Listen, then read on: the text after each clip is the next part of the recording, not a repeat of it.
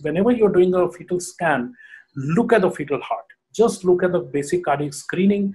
And if you detect something which is not normal, that becomes an indication for fetal echo right so there are several several papers across the world and uh, there's uh, it's, it's all futile i mean all the guidelines now say that uh, every fetal uh, card, uh, scanning should include a basic uh, fetal heart screening also so these are the uh, large cohort studies but i'm not going to go into this now i'll show you some cases where this is please please remember this is nothing uh, not a very fancy stick or something, but still, if we want to, we can pick up several things. Now, look at this one.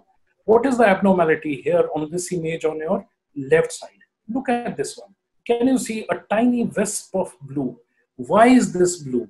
Why is this wisp blue? Because it is going away from the transducer. Please remember your transducer is placed here. So any blood which is going away will be blue. So this is a tricuspid. This is right ventricle. This is the moderator band. So this is a tricuspid regurgitation.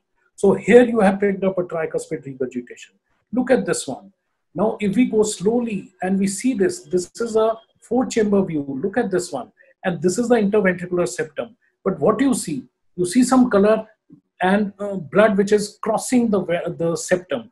And there is some uh, aliasing, which means that there's to and fro flow across this septum. So this is the cardiac uh, setting, which is so good that you can pick up a VSD, a small um, uh, muscular VSD in this heart.